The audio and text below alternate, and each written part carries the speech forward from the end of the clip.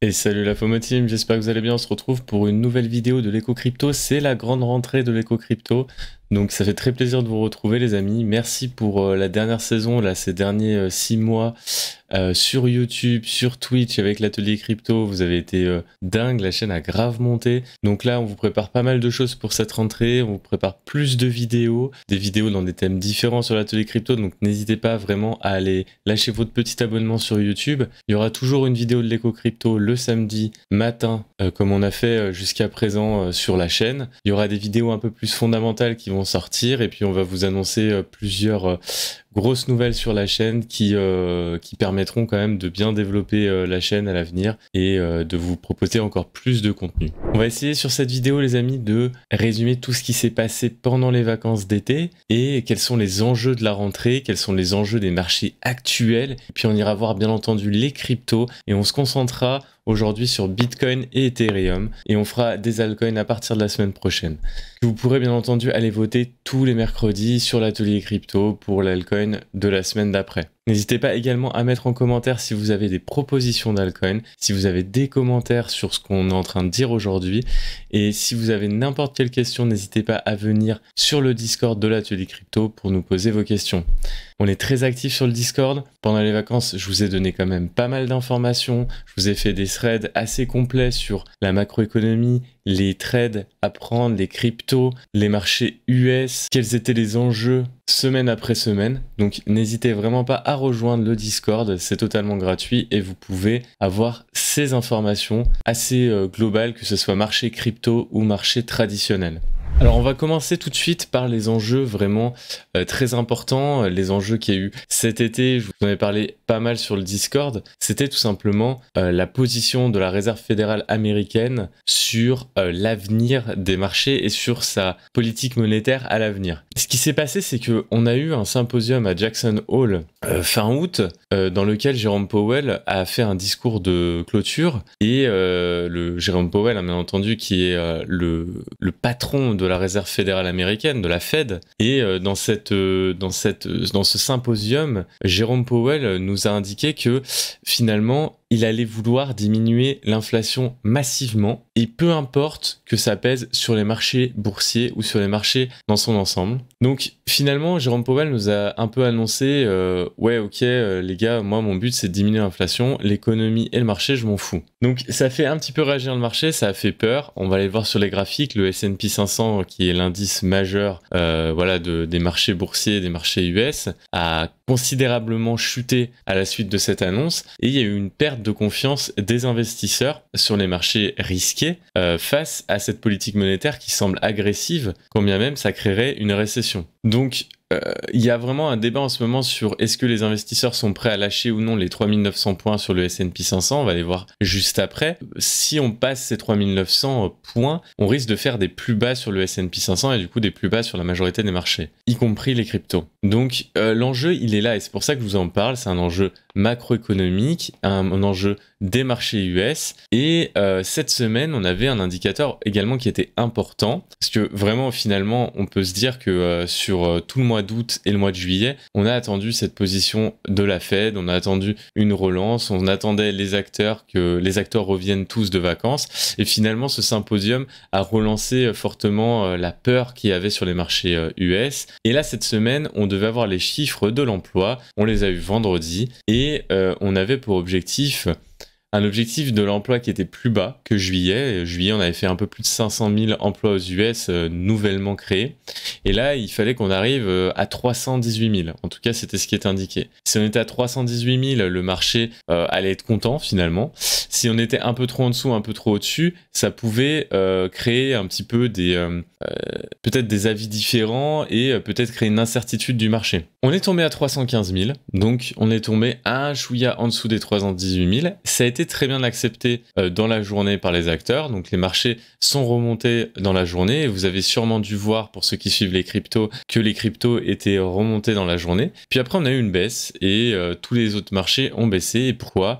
Parce que euh, on a des news macroéconomiques et je vous en parle toujours. Il n'y a pas que la technique. La technique vient confirmer un élément fondamental, un élément macroéconomique. Je pense qu'il y a beaucoup de gens qui l'oublient, que ce soit sur Twitter, que ce soit sur YouTube, avec beaucoup d'influenceurs. Donc n'oubliez vraiment pas ça. La macroéconomie, c'est ce qui drive tout. Et ensuite, vous avez l'analyse technique qui vient confirmer ça. Faut vraiment pas l'oublier, les amis. Je pense que c'est vraiment trop, trop, trop oublié.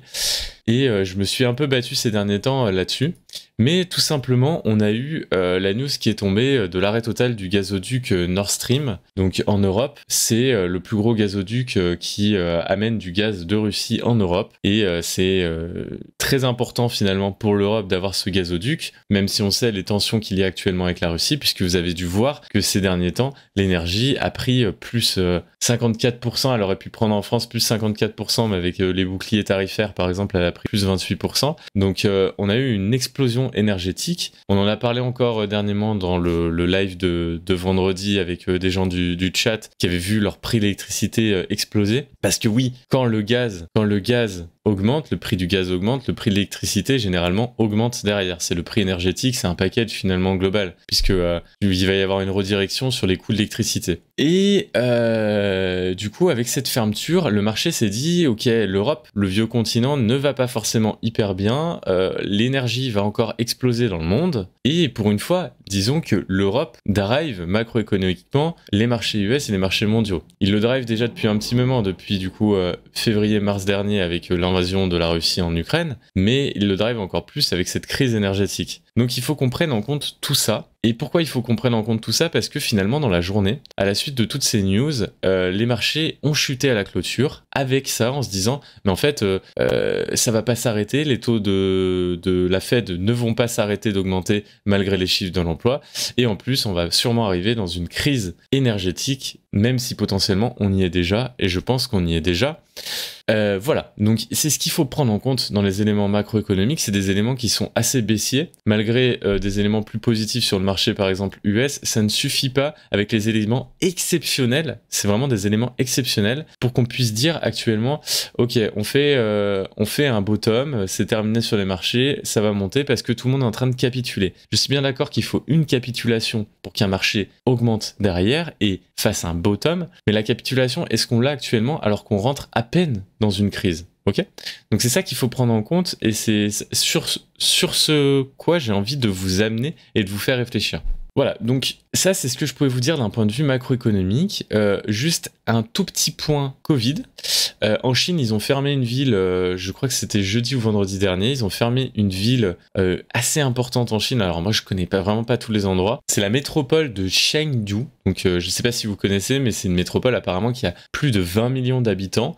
Et il y a eu quelques cas, donc je crois 150 cas à peu près. Et le, le gouvernement a décidé de fermer cette ville. Pourquoi je vous en parle? Parce que ça va me faire le lien avec les marchés européens. Comme vous le savez, nous en Europe, on exporte énormément en Chine, on importe énormément de Chine, mais on exporte aussi énormément en Chine, notamment avec les gros acteurs du CAC 40 et qui sont euh, les leaders des marchés boursiers, par exemple en France, qui sont en fait tout simplement le marché de luxe. Et si vous avez de plus en plus de confinements en Chine dû au Covid-19, vous avez toujours des répercussions sur les marchés européens. Pour l'instant, les marchés européens ont repris parce qu'ils ont très bien pris les chiffres de l'emploi et s'inquiètent apparemment un peu moins de la crise énergétique et de la politique de la Fed. Par contre, en Europe, il va falloir faire attention à la macroéconomie sur les confinements en Chine. Il va falloir faire attention, bien entendu, sur ce que les US décident. Et il va falloir faire bien attention à l'euro face au dollar et l'euro face à toutes les autres devises, parce que l'euro est en forte diminution, comme vous l'avez vu, on en avait beaucoup parlé avant les vacances. Et euh, tout simplement, les politiques monétaires européennes ne sont pas pour l'instant durcies très fortement. Donc au bout d'un moment, la BCE va pas pouvoir supporter le marché jusqu'au bout, sinon c'est la fin de l'euro. Et donc du coup, il va falloir que la BCE soit un petit peu moins euh, gentil avec les entreprises et les banques. Et donc, au bout d'un moment, il va y avoir une, élévation des taux, une hausse des taux directeurs en Europe par la BCE. Et ça va sûrement faire cracher les marchés européens et pas forcément les marchés US. Nous, on se tape toujours le double rideau, US et Europe, alors que les US, des fois, se tapent que l'US parce que c'est un peu eux qui dirigent tous les marchés.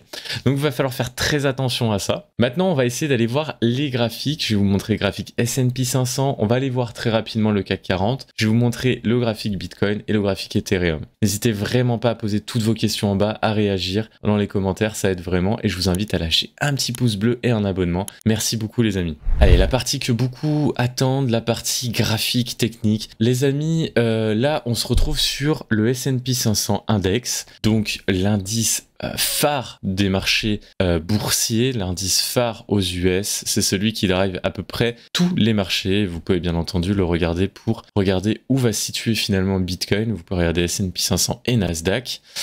S&P 500, vous voyez qu'on était, je vais vous repartir un petit peu de là où on était, vous voyez qu'on a une sorte de trendline là ici en orange qui date du Covid-19. On est venu euh, faire des points de contact ici en juin 2022, là où on a chuté fortement. Ici, on est sur une dynamique haussière, une trendline haussière depuis juin 2022, où on a rebondi en, fait, en juillet 2022. Et là, hier et avant-hier, on a fait euh, deux bottoms. Je vous l'avais indiqué sur Discord.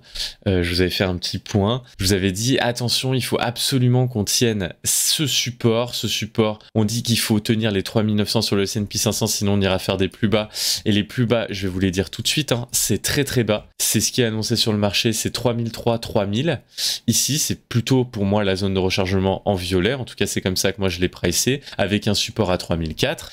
Donc, il fallait absolument qu'on tienne ces 3900. Le marché a réagi, vous voyez, a réagi. Il a méché dessus. On a clôturé bien au-dessus euh, de cette trendline. Vous voyez que c'est assez euh, précis chirurgical. On vient toucher la trendline, presque touché. Hein. Je crois qu'il n'y a pas exactement la touchette sur la trendline. Par contre, on vient vraiment sur le support Ishimoku du nuage en quotidien, en journalier. Et ça, c'est hyper important. Vous voyez que euh, le nuage, malgré son épaisseur qui est très fine, vraiment, généralement, ça, c'est beaucoup plus facile de casser vers le bas ou vers le haut. On est venu quand même prendre le point sur la SSB de, du nuage d'Ishimoku. Donc hyper important, euh, on voit que le marché réagit pour l'instant sur cette trendline. Il va falloir absolument absolument, les amis, suivre euh, si en fait on n'est pas en train de faire une sorte de pullback où finalement on va toucher ici euh, la trendline pour ensuite aller vers le bas et casser cette trendline. Vraiment, l'objectif majeur, il faut retenir, si vous voyez que le marché US, le S&P 500, va sous les 3900, il faut absolument vous inquiéter sur ce qui va se passer par la suite. Parce qu'on n'aura pas grand chose. On aura vraiment le marché qui doute. Ça veut dire que les acteurs auront lâché ces 3009.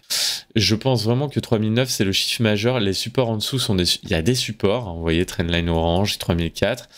Mais euh, en dessous des 3900, on ira très vite bas. Vous voyez, ça peut aller très vite. Hein. Ce qui s'était passé, c'est que pendant les vacances, je vous avais dit, il y a un trade à prendre et je l'avais pris avec vous. Il y a un trade à prendre. On arrive sur la MM200, sur la moyenne mobile euh, à 200 jours, euh, sur le S&P 500. Vous voyez qu'on a tapé dessus. La MM200, c'est euh, la ligne rouge. On a tapé dessus. On est venu chuter. Et je vous avais dit, OK, on voit que sur la journée, on clôture en dessous de la MM200. Il y a un trade à prendre. Du coup, j'avais pris la journée d'après sur un short. Et vous pouvez tout simplement, sur votre short, aller chercher des objectifs de moyenne mobile pour vous prendre vos TP. C'est ce qu'on avait fait. C'est même aller en dessous de que euh, nous on avait calculé. On s'était arrêté à la MM50, pardon, que vous voyez en orange. Et je vous avais dit, bah, si on est sous la MM50, le marché, euh, c'est pas forcément bon parce que euh, on est sur une baisse moyen terme, court terme. Et être sous le MM50, généralement, c'est pas forcément positif pour les marchés du tout. Et là, c'est ce qu'on a fait. On a cassé sous la MM50. Le marché tient le support à 3009, mais tant qu'on n'a pas repris cette MM50, on n'est pas bullish sur le S&P 500. Vous voyez que les acteurs ont essayé de prendre euh, le long sur, euh, sur la trendline, ça a très bien, et sur ces 3009, ça a très bien marché, mais ça a été vite revendu au contact de la MM50. Vous voyez que c'est assez précis, c'est assez chirurgical, il n'y a pas grand chose d'autre à dire. Contact MM50, MM7, euh, vous voyez, c'est la petite en bleu. le marché cède et vend. Donc pour l'instant, c'est pas positif ce qu'on a sur le marché US. Ça veut et vraiment, euh, je vais vous le dire honnêtement, il y a beaucoup de gens qui se leurrent. Si c'est pas positif sur les marchés US et en termes macroéconomiques dans le monde, ça sera pas positif sur Bitcoin, mes amis. Ça sera pas positif sur les cryptos. si on passe rapidement Nasdaq, c'est vraiment euh, même configuration quasiment. Bah, vraiment même configuration. On est venu prendre le TP du triangle croissant qu'on avait tracé à l'époque ici. Hein. Tac tac. Ça c'était notre trade. Euh, ici, il fallait vendre. On a vendu. le marché est venu casser vers le bas. on est venu sous la MM 200, on est, on est presque venu au contact de la MM200. On a craché avec le S&P 500. Et là, on a craché, on a vraiment fait euh, un gros bas, quoi, finalement.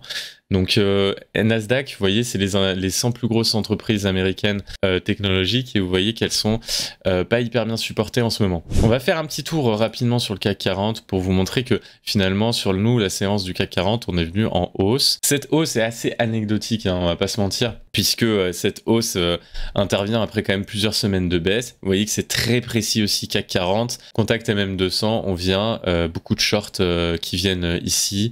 Voilà, ça a revendu sous la MM 50 Honnêtement, pas grand chose d'autre à dire. Vous voyez que le support que euh, j'avais tracé ici euh, des 6000, c'est le support qui a été tenu ici par le marché. Je n'irai pas m'emballer, honnêtement, euh, j'irai pas du tout m'emballer.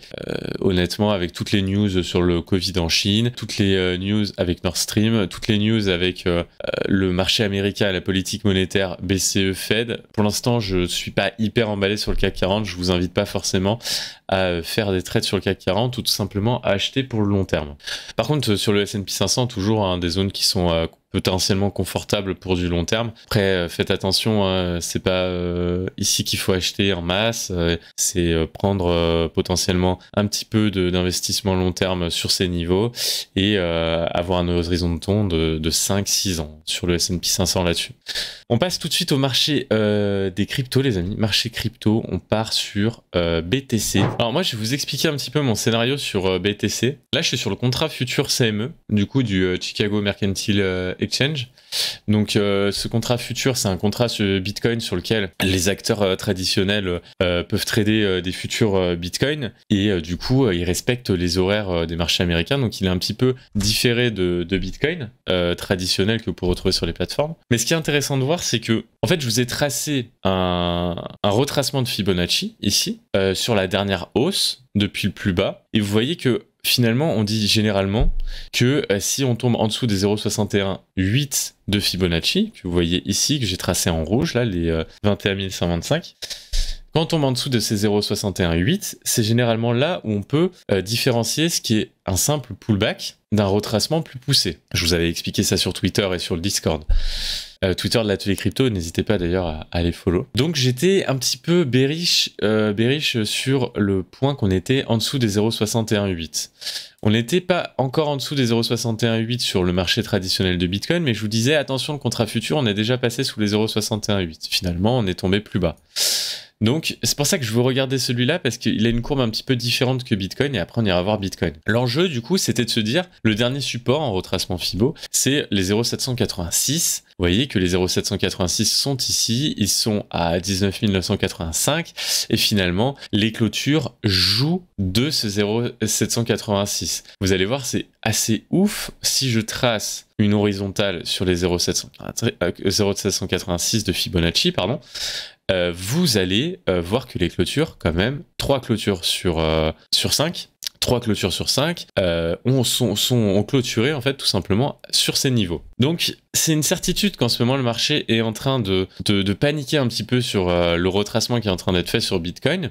Et techniquement, en fait, finalement, ça vient euh, confirmer un petit peu ce qu'on a sur le S&P 500 et ce qu'on a de façon macroéconomique, c'est qu'il n'y a personne pour relancer les marchés parce qu'il n'y a personne qui pousse les marchés à être relancés d'un point de vue macro et que euh, tout le monde a un petit peu peur parce que finalement, il y a des paliers qui sont en train d'être passés et qui sont très importants. Alors, je vais vous expliquer un petit peu le débat du moment, c'est qu'il y en a pas mal qui voient une vague d'Eliott où on aurait terminé finalement une C et on partirait sur une nouvelle impulsion euh, Mais en fait, les vagues d'Eliott, c'est de la psychologie euh, de trading, mais tout le monde peut voir des vagues différentes et euh, tout le monde peut tracer des vagues différentes. Euh, et généralement, il n'y a pas forcément qu'un seul scénario. Et vous verrez que ceux qui font des scénarios héliotistes en, en proposent plusieurs. Sinon, généralement, ces personnes ne font pas l'héliotisme correctement. Mais sur un scénario héliotiste, passer les 0,6118 et 0,786 sur la dernière montée comme ça, pour moi, c'est pas positif. Et, euh, et du coup, en fait, j'ai du mal à voir un point positif sur l'héliotisme, même si on terminerait une C, alors même que les indicateurs macroéconomiques ne sont pas en notre faveur. Je ne vois pas qui relance le marché, en fait, qui a envie de se casser les dents.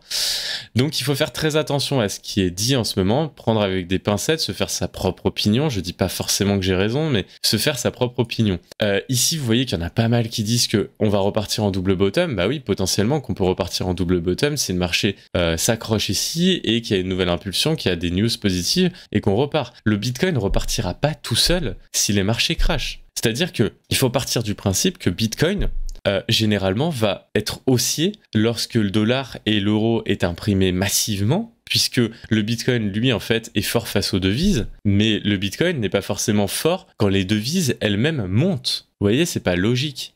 Et donc, du coup, si l'US monte, le dollar monte et l'euro monte parce qu'il y a des politiques monétaires de restriction, c'est-à-dire que là on va monter les taux directeurs et qu'on veut jouer contre l'inflation, donc forcément le dollar et l'euro reprennent de la vigueur, euh, le Bitcoin ne montera pas. C'est classique en fait, c'est classique. Le Bitcoin montera quand les marchés risqués seront, seront aidés, seront soutenus par les acteurs, ce qui n'est pas le cas actuellement.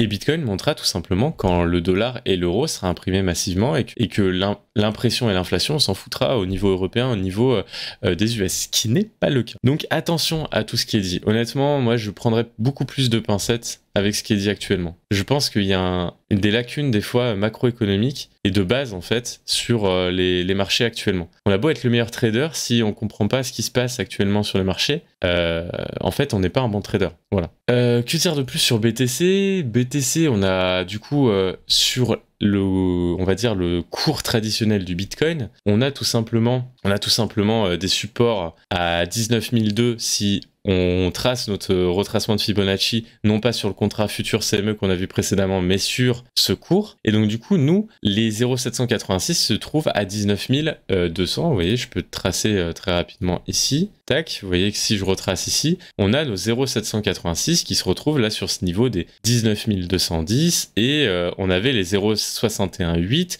qui étaient à 20 500. Et c'est pour ça que je vous avais dit qu'en dessous de 20 500, j'étais bearish et euh, je trouvais que le support à 19 1200 n'était pas forcément le support le plus solide.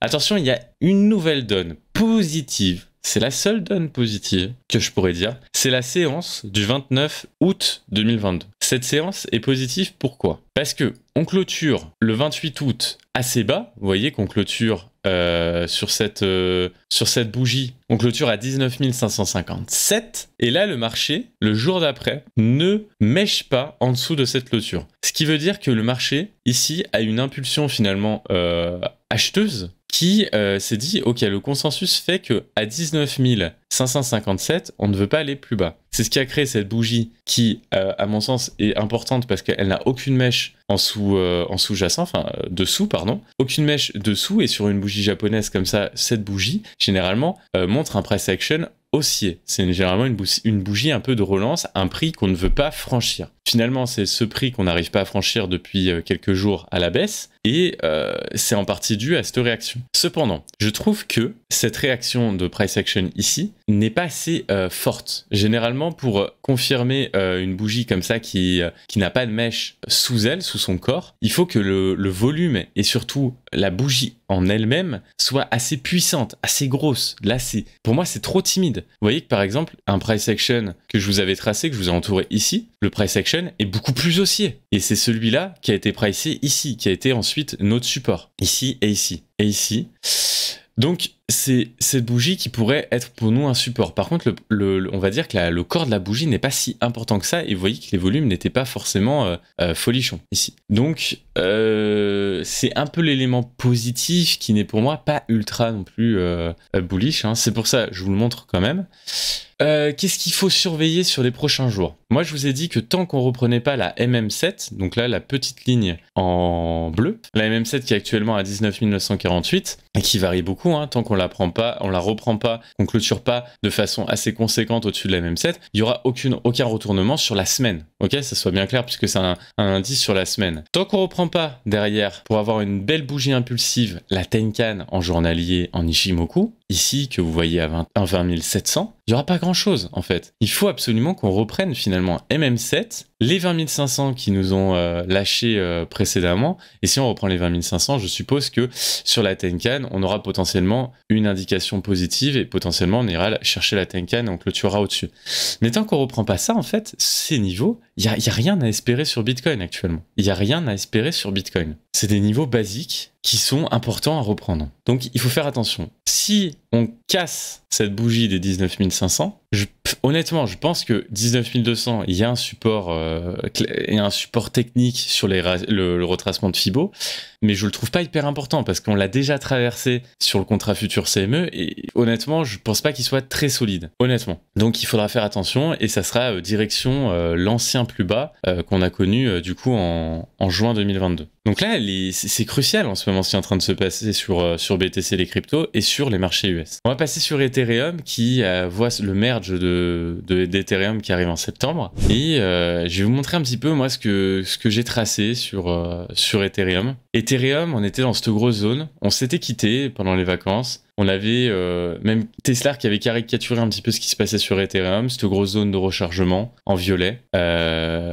voilà, alors je mets mes petites euh, notes, je vous les enlève, mais voilà, Ethereum est sorti, est sorti un peu trop bullish de cette zone et vite retombé, vite retombé ici en, en août. J'y trop tombé parce que le marché n'était pas supporté, les news étaient mauvaises macroéconomiquement et euh, le marché euh, ne peut pas être supporté quand bien même le merge d'Ethereum est quelque chose de formidable. C'est, ça reste un, ça reste quelque chose qui est tradé malheureusement et euh, le fondamental ne fait pas tout. Donc je vous avais dit qu'il y avait un prix important sur Ethereum pour moi qui était les 1007. On l'a traversé très facilement, ce qui m'a étonné d'ailleurs, pour venir s'appuyer sur MM50, sur MM50 ici. Vous voyez la journée du 20 août. On a repris un petit peu de jus sur MM50. On est venu casser euh, le 26 août. Et j'ai envie de vous dire à quel point la macroéconomie est importante. Hein. Vraiment, pourquoi le 26 août? Pourquoi le 26 août? Vous allez me dire. Mais pourquoi? Mais parce que c'était le jour du symposium de Jackson Hole. C'était le jour où la Fed nous a annoncé qu'elle ne supporterait pas le marché et qu'elle ferait tout pour lutter contre l'inflation. Vous avez une vente massive d'Ethereum au 1700, on n'a pas repris les 1700, niveau technique important, qu'on ne reprend pas, avec news macroéconomique euh, dégueulasse, on chute. Pour ça, à quel point c'est important de suivre ça? En tout cas, moi j'essaye de, de, vous le faire suivre le plus possible sur le Discord et sur cette chaîne. On se stoppe au 1400, qui est un niveau euh, important. 1400, 1424 euh, qui a déjà été un support pour nous. On fait une bougie comme sur BTC avec un, un price action haussier, un peu plus important d'ailleurs que sur BTC avec un volume un chouïa plus important sans être astronomique.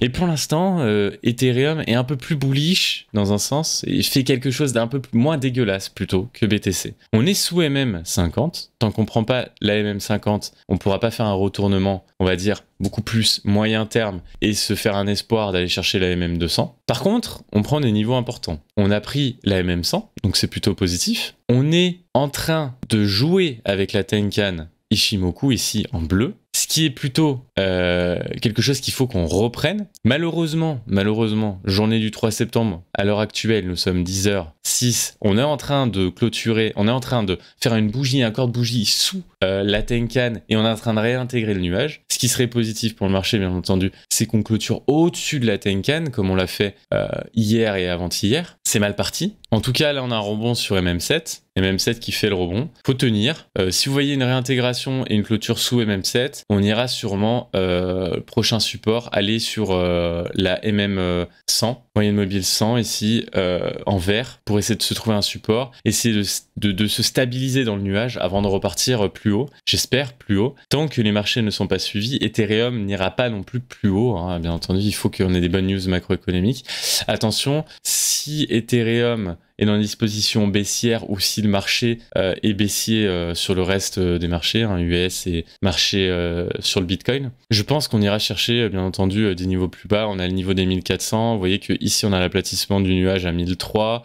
Il y a quand même pas mal de, petits supports sur Ethereum, un peu plus que sur Bitcoin, mais ne vous attendez pas non plus à aller faire 4000 sur Ethereum tout de suite. Hein. Je pense qu'Ethereum dans une disposition où son plus bas de juin dernier est moins facile à aller chercher que sur Bitcoin. Et c'est ça qui me fait dire aussi que d'un côté bullish, hein, c'est un peu bizarre que euh, Bitcoin baisse plus que les altcoins, alors que plein d'altcoins sont en train de remonter. Mais bon, c'est voilà, crypto c'est crypto. Euh, les marchés US, euh, euh, c'est autre chose, et la macroéconomie, c'est autre chose. C'est peut-être parce que Bitcoin a un fondamental moins intéressant actuellement pour les marchés crypto, c'est-à-dire qu'il y a peut-être, voilà, il y a moins de news sur Bitcoin, c'est normal. Il y a beaucoup plus de news sur les altcoins et sur Ethereum, et euh, du coup, Bitcoin est un peu l'actif, on va dire, central pour les cryptos, pour suivre un peu les marchés boursiers avec les cryptos. Ça, ça, ça trace bien le marché boursier au travers des cryptos, Bitcoin. Et peut-être que tout simplement, les altcoins, en ce moment, bah, vu que Bitcoin est sur des niveaux un peu stable, voire un peu baissier, bah, les altcoins arrivent à sortir un peu de leur jeu et dès que Bitcoin monte un petit peu, les altcoins montent parce que les news sont assez bonnes en crypto. Je trouve honnêtement sur plein de projets. Euh, n'hésitez pas, on va en parler mercredi, mais il y a AAVE, c'est AAV, c'est quand même très bullish ce qu'ils sont en train de faire. Curve Finance encore récemment. Il y a quand même beaucoup de choses qui, euh, qui sortent et qui sont intéressantes. Et voilà, peut-être que en ce moment c'est pricé euh, sur les altcoins, mais il faudra pas se leurrer quand les marchés casseront, euh, les altcoins casseront également. Voilà les amis, ce que je pouvais vous dire à peu près, euh, à peu près sur tous les marchés. Allez, je vais repasser en caméra comme ça. merci en tout cas d'avoir suivi la vidéo jusqu'au bout. Vous êtes de plus en plus d'ailleurs à suivre la vidéo jusqu'au bout. N'hésitez pas vraiment à suivre la vidéo jusqu'au bout. J'espère que j'ai été le plus clair, le plus concis possible. Si vous avez des questions, n'hésitez vraiment pas. Je réponds à toutes les questions. Vous pouvez le voir en commentaire. Je réponds à vos commentaires très rapidement. Euh, n'hésitez pas aussi à, aussi à, me suivre sur ma chaîne WillDT11 si vous voulez la voir sur YouTube. C'est une chaîne gaming. N'hésitez pas à venir nous voir sur Twitch. Donc le Twitch c'est WillDT11 que ça soit pour l'atelier crypto ou pour WillDT11. On a un seul Twitch.